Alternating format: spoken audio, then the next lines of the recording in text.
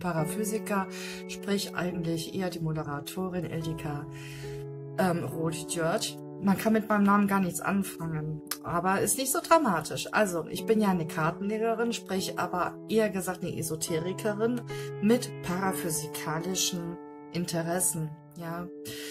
Bin auch sehr spirituell, aber für diejenigen, die mich schon kennen, es tut mir leid, ich konnte lange Zeit halt nicht mal online gehen. Ähm, ich habe immer noch schwere Probleme mit der Technik. Vor kurzem, das werdet ihr mir nicht glauben, schmotten meine Kabel. Das da ist jetzt halt mein Kabel für den Monitor. Schaut euch das mal an. Verkokelt. Kaputt. Ich bin sehr stark Merkurlastig. Da ist noch ein Kabel, der kaputt gegangen ist von meinem Computer. Mal gucken. Seht ihr das? Das Weiße hier. Und da unten auch diesen Strich dementsprechend. Heftig, gell? Kabelbrand. Ich könnte schier verzweifeln, das schon zur Körperverletzung. Und bei Gott ist das, ehrlich gesagt, berufsschädigend. Es ist wirklich so. Da braucht man wirklich einen Panzerhaut. Der Merkur liebt mich. ja, ich hoffe, dass ihr natürlich halt dementsprechend halt ein bisschen Verständnis für mich auch in der Thematik habt. Man muss gucken, wie man da klarkommt. Ähm, ist schwer, ja, weil ich brauche den Computer nicht nur für paraphysikalischen Analysen oder für diese wissenschaftlichen Geschichten da in Bezug auf Paraphysik, sondern ich brauche das auch natürlich für bürokratischen Geschichten oder geschweige denn halt auch, weil ich ja auch ein Buch schreiben wollte. Kann ich vergessen. Ja, so sieht's aus. Ich hatte nicht so lange meinen Computer. Also ich habe im Dezember 2019 mit dem Computer gekauft gehabt. Wer weiß. Ich hoffe, dass er noch funktioniert, trotz diesem Kabelbrand. Ja, meine Lieben, also ich werde jetzt mal nicht so lange schwätzen, einfach mal kurz mal erklären, was ich jetzt machen werde. Und zwar mache ich die Monatslegung für alle Sternzeichen. Natürlich beginne ich heute wie immer mit dem Widdergeborene und ende auch dann am Ende mit dem Fisch irgendwann wann. Und ähm, ich werde einfach als Frau deuten. Ja, egal ob jetzt halt irgendwie ein Mann zuschaut oder Frauen zuschaut, ihr müsst das für euch umswitchen. Ihr wisst ja schon halt, was ich meine. Ich werde mit dem keltischen Kreuz einfach halt mal legen. Und ich werde, ja, wie gesagt, ähm, das so intuitiv deuten, was ich spüre. Eine spirituelle Sprache spricht mit mir und ich lasse mich einfach halt da hineinführen in diese in, entsprechende Sprache, was es mir sagen möchte, um was es hier geht. Ansonsten habe ich einen Tipp für euch. Ich werde demnächst gucken, dass ich ein Webinar euch anbiete für diejenigen, die gerne Karten legen, deuten lernen möchten oder verstehen lernen wollen zum Thema Tarotkarten. Also nicht die Lenormand-Karten, sondern die Tarotkarten werde ich ähm, gucken, dass ich im Herbst einen Webinar euch anbiete, dass ihr dann halt mit teilnehmen könnt. Ähm, da ich nicht mehr in Deutschland lebe, sondern in Rumänien, sind bei mir die Gebühren nicht so hoch. Ja, viele deutsche Esoterikerinnen verlangen extremst viele Gebühren für die Webinare. Und ähm, da ja Rumänien nicht so viele Steuern erwartet, ja, von den entsprechenden Firmen oder für die Self-Employer, was ich auch bin in der Thematik, zahle ich nicht so viele Steuern. Und äh, dann dürft ihr natürlich jetzt halt auch wissen, ne, dementsprechend, dass ich halt nicht so überteuert bin in Bezug auf diesen Webinar. Ich habe einen deutschen Konto und habe auch einen rumänischen Konto. Wenn ihr möchtet, könnt ihr natürlich halt die Webinare buchen. Oder wenn ihr auch eine Privatlegung buchen möchtet, könnt ihr das natürlich auch gerne machen und könnt natürlich auch meinen deutschen Konto auch an, anwenden. In der Beschreibung findet ihr gerne auch meinen deutschen Konto ein rumänischen Konto und auch allerlei andere Daten. Wenn ihr gerne eine Privatberatung haben möchtet, könnt ihr mich dann persönlich halt im Facebook Messenger anschreiben unter Paraphysica Universicum. Ja, jetzt wünsche ich euch natürlich halt eine spannende Legung. Ich hoffe, dass es euch gefallen wird. Wenn es euch gefallen hat, dann bitte vergesst halt nicht zu liken und vielleicht auch sogar noch halt meinen Kanal zu abonnieren. Also, bis dann. Also ich liege vorwiegend mit den Orakelkarten von Doran Virtue, das Engel der Liebe Orakel aus dem Allegria Verlag, mit den After, After Tarot Cards aus dem Los Carabios Verlag, von Giro Marchetti Gönere Lenormand Karten aus dem Königshood Orania Verlag sowie auch die Kepper-Karten von Giro Marchetti Königsfoot Orania Verlag und die Lenormand Karten Blaue Eule von dem Königsfoot Orania Verlag.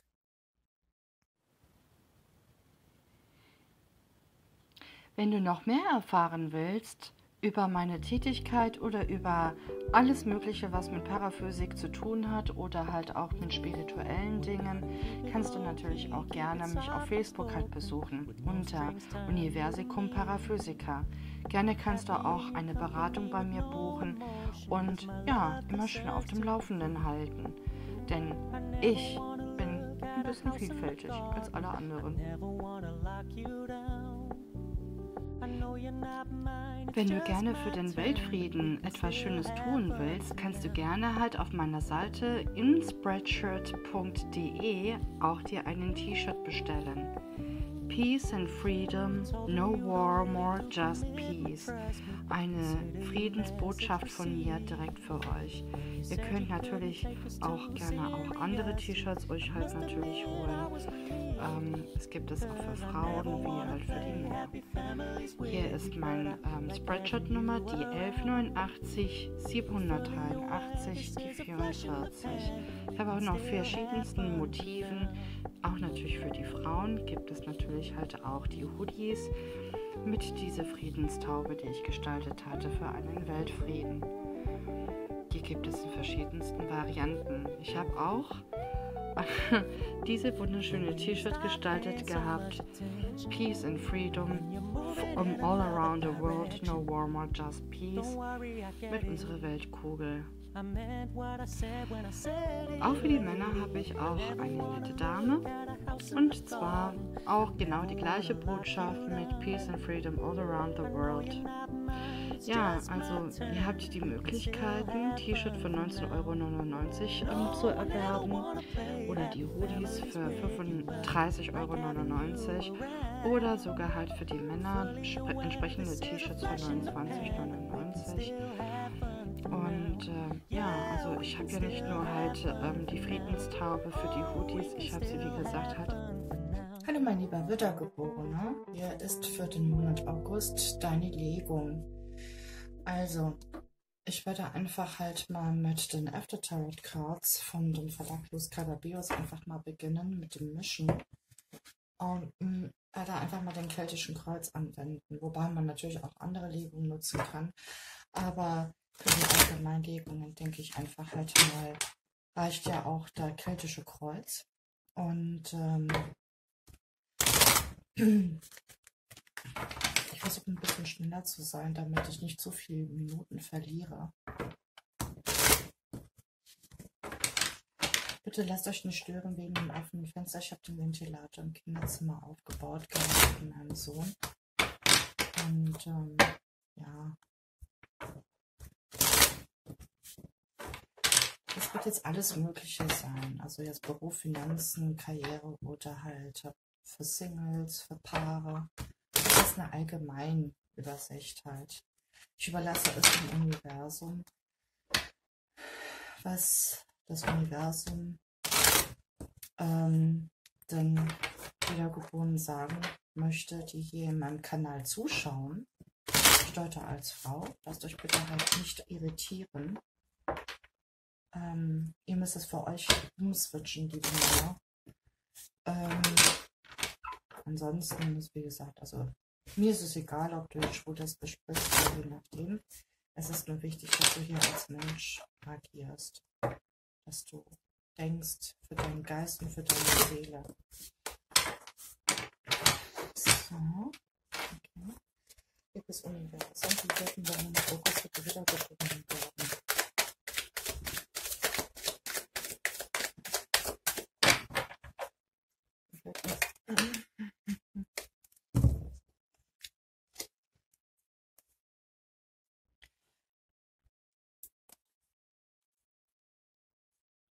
Eine Prüfung wird nicht bestanden.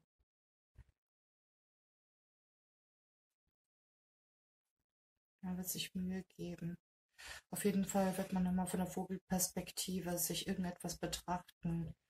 Man möchte Klarheit bringen. Auf jeden Fall geht es ja auch um Gerechtigkeit. Vielleicht hast du es mit einem Löwengeborenen zu tun. Oder du kämpfst halt irgendwie, es kann sein, dass du vielleicht ein Azubi bist. Ja, vielleicht machst du eine Lehre und kämpfst wie eine Verrückte, dass du irgendwie deine Prüfung bestehst. Oder du hast Angst, dass du halt irgendwie die Prüfung nicht bestehen könntest. Fischgeboren, Krebs oder Skorpion. Ja, wieder. Kelch. Kann auch viel Gefühl bedeuten. Oh, okay. Einen Stopp spüre ich.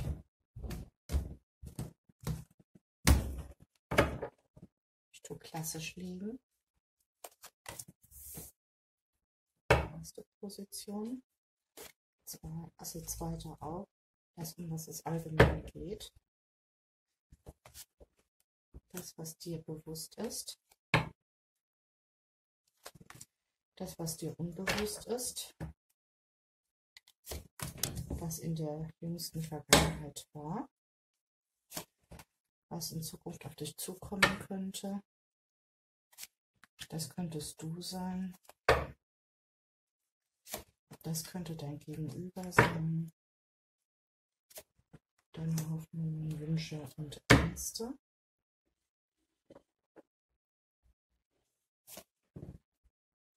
Und dann die Quintese, und da kommt halt noch eins raus. Ich will es mal einfach mal mit integrieren. Ist aber auf der Kopflage. Hm. Man möchte nicht mehr kämpfen, man möchte so gut wie aufgeben. Das ist die allgemeine Energie bei dir.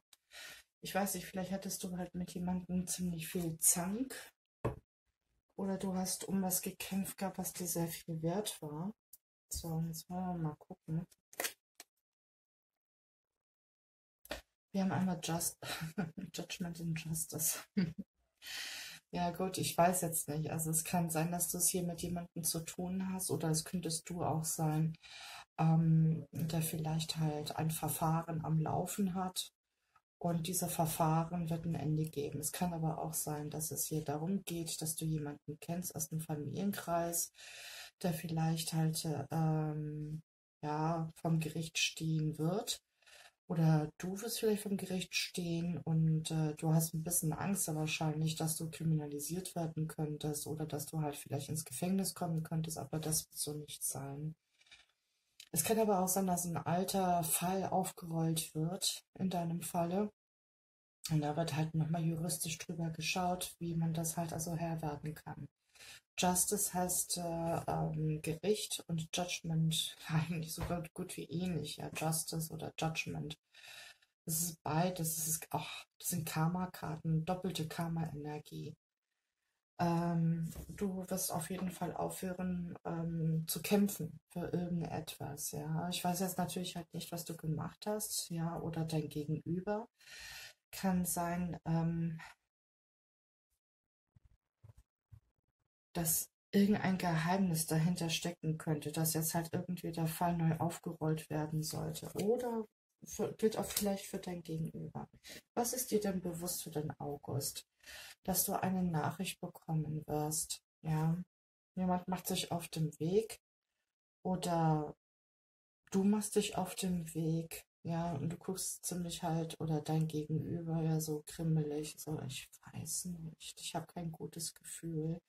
Es kann sein, dass du ein komisches Bauchgefühl hast und außer traurig bist, weil es ein Never-Ending Story ist, ja, ja, wie Yin und Yang, ja, es dreht sich halt wie im Kreis, ne? der Teufelskreislauf hört niemals auf, weil hier unten steht Justice und hier oben steht Judgment, ja, eigentlich wiederholen sich die zwei Kartenkombinanten und Page ähm, der Stäbe, ja, es steht halt für junge Menschen. Vielleicht hast du es mit einem jungen Menschen zu tun, der so ein bisschen halt naiv ist und nicht weiß, wo er hingehen soll. Und äh, ja, aber du hast auf jeden Fall halt eine Nachricht erhalten.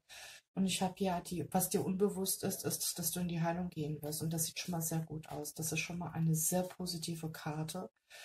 Und du wirst ähm, Erfolg mit damit haben, weil das ist pure Erfolg und das ist dir nicht bewusst. So, das ist dir bewusst, ja, dass du wieder halt irgendwie, ah, ja, keine Lust mehr, das nervt, ich habe keine Lust mehr, das immer wieder das Gleiche halt vorzu durchzukauen vorm Gericht.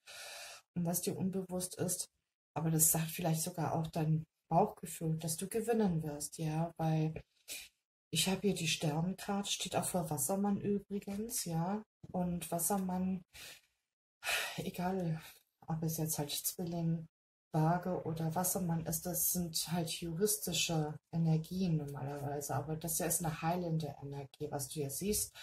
Und ähm, ja, also du wirst auf jeden Fall Erfolg haben. Ne? Jetzt wollen wir gucken, was in jüngsten Vergangenheit war. Du hast aufgegeben gehabt zu kämpfen, du hast sehr hart gekämpft gehabt. Ich weiß es nicht, ob das jetzt um eine Liebe ging ob, oder ob um eine Ausbildungsstelle oder vielleicht hattest du Zank mit irgendeinem Person in deinem Freundeskreis oder in deinem Familienkreis. Ja, und du bist einfach zu müde, um noch weiter zu kämpfen. Es könnte halt auch so weit gegangen sein, dass du gesagt hast, ich ähm, muss aufhören, weil sonst ich, zerbreche ich oder gehe ich kaputt. Was jetzt auf dich zukommen wird,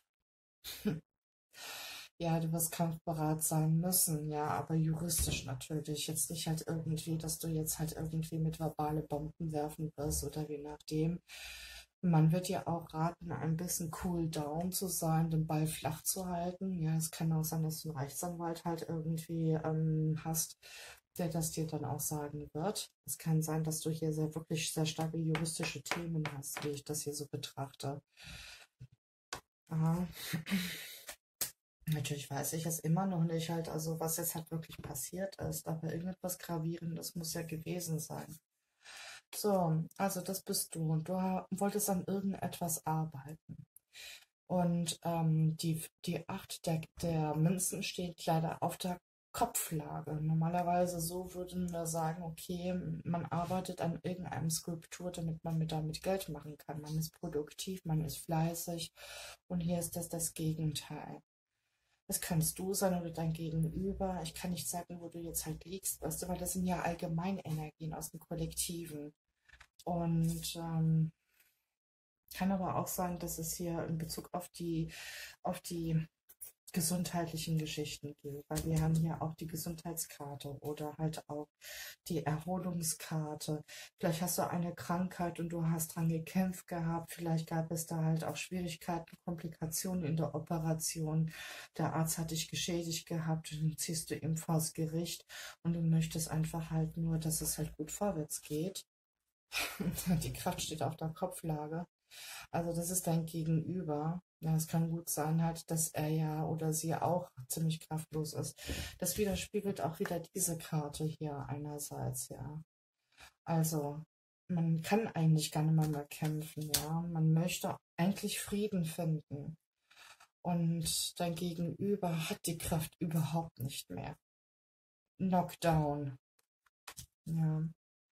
So, Familienthemen. Deine Hoffnung ist, dass also die zehnte Kelche, ähm, das ist auch eine Familienkarte, eine Freudenkarte eigentlich auch, ja. Dass man halt mit der Familie zusammenkommen kann, dass man miteinander feiern kann. Und deine Hoffnung ist auf jeden Fall, dass du halt deine Familie bald auch wieder in den Armen nehmen kannst. Es kann sein, dass du halt nicht bei deiner Familie lebst oder dass du halt irgendwie nicht bei deinen Eltern in der Nähe lebst. Vielleicht hast du auch eine Frau oder einen Mann und hast Kinder mit ihm oder mit ihr und du möchtest gerne halt irgendwie wieder mit ihnen zusammen sein. Ja, und das ist ja auch deine Hoffnung. Ja, dass du deine Kinder nicht verlierst, dass du, hier habe ich Sterne, ich kriege reflektiert Sterne. Das wird in die Heilung gehen. Also das ist auch dein größter Wunsch im Grunde genommen. Auch wenn sie auf der Kopflage liegt. Ja. Es kann aber auch sein, dass es hier ein Scheidungsprozess ist, weil ich habe hier die Familienkarte. Vielleicht liegt hier eine Trennung vor und du trennst dich ja von einem geliebten Mann. Aber ich habe hier sehr viele Männerkarten, also Männerpersonen. Es kann sein, dass du hier, äh, hier bist als Frau und er ist hier unten. Und ähm, vielleicht hat er sich ja gar nicht um die Familie gekümmert gehabt. Wesentlich du halt mehr. Und deswegen hast du auch nicht mehr die Energie vielleicht. Ja, wir wissen es noch nicht hundertprozentig. So, oh je. Also die Quintese sagt natürlich aus, es wird ein am Ende August ein Riesengemetzel geben. Ja, aber das sieht gar nicht gut aus. Das wird richtig ein böser Kampf geben. Und natürlich wirst du dann halt auch nochmal reflektieren, ich habe so die Schnauze voll, ich möchte mit dir mein Leben nicht mehr teilen. Gehe weg dahin, wo da diese Flut ist oder je nachdem. Also, es kann sein, dass du in einer Trennungssituation bist, ein Scheidungsverfahren und hier herrscht ein Rosenkrieg. Und ähm, ihr versucht natürlich halt irgendwie vom Gericht das halt so irgendwie souverän wie möglich, das halt hier irgendwie zu lösen. Aber es fast schier wie unmöglich. Am Ende brodeln dann halt doch noch die Emotionen ähm, lieber Wiedergeboren, ich weiß jetzt natürlich halt nicht, ob das was mit damit zu tun hat von den letzten Malen, wie ich halt schon Anfang in diesem Jahr schon die Karten gelegt hatte, weil für euch wieder war es immer sehr auffällig, dass immer mal wieder ähm, auch Dualseelenprozesse dabei waren. Das sieht schon fast ein bisschen halt aus, wie als ob da eine Person von euch, die in einem Dualseelenprozess ist oder war, gerade in einem Scheidungsverfahren ist. Und ähm, das sieht fast schon ein bisschen damit aus. Ich kriege das auch signalisiert, aber ich bin mir nicht sicher.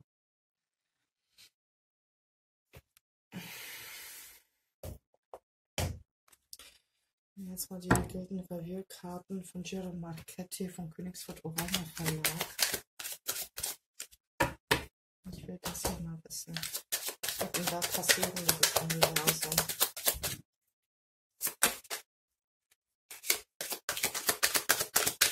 jetzt modern rausfallen. Gespräche über Sexualität. Ja, es geht um eine Affäre. Also ähm, man wird auf jeden Fall über eine Affäre reden. Hier geht es um eine Frau. Kann sein, dass, dass diese Frau eine blondhaarige Person ist.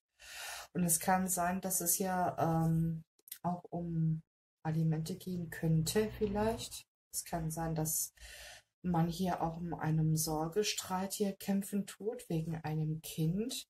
Natürlich habe ich jetzt hier keine Kinderkarte, aber das ist auch eine Familienkarte. Ja. Es muss nicht immer nur Sexualität sein bei den Lilien. Und wenn es bei jetzt bei einem Scheidungsprozess hier der Fall wäre, dass man sich da halt irgendwie scheiden lassen möchte, ähm, ja, wegen einer Sache, Situation, wegen einer Affäre, ja, ähm, dann, und wenn dann noch ein Kind halt mit im Spiel ist, weil da aus dieser Affäre ein Kind entstanden ist, dann dementsprechend wird ähm, aufgrund des Eifersuchtes ähm, ein Riesenstreit, ein Riesenkampf halt stattfinden. Ich weiß jetzt natürlich halt nicht, ob das jetzt hier bei dir der Fall ist, aber ich sehe eher, dass hier eine Frau vors Gericht treten wird, um sich scheiden lassen zu wollen. Hier geht es nicht mehr um einen Mann, hier geht es um eine Frau, die sich scheiden lassen möchte.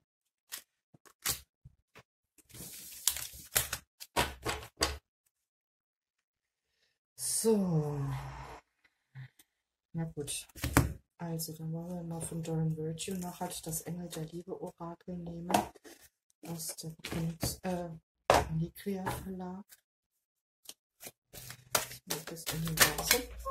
Da fliegt schon einer aus. Die Chemie stimmt. Ja, an sich stimmt ja die Chemie bei dir. Ja, du hast schon das Gefühl, dass ihr zueinander passen tut. Aber irgendwie stimmt trotzdem was nicht. Also es kann gut sein, dass er Sexprobleme hat, sexsüchtig ist. Weil er sich identifiziert hat durch Sex. Das kann auch gut sein. Ne? Vielleicht braucht er Bestätigung. Kann gut sein. Ja. Achte auf die Warnsignale. Die Zeichen warnen dich. Ja, das ist eine Herausforderung. Also ich wünsche dir auf jeden Fall viel Kraft ähm, und viel, viel Energie. Hm.